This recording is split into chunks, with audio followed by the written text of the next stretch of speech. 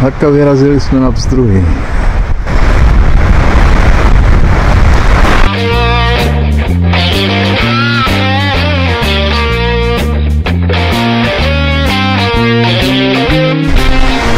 No, sice špatný počasí, ale na rybách.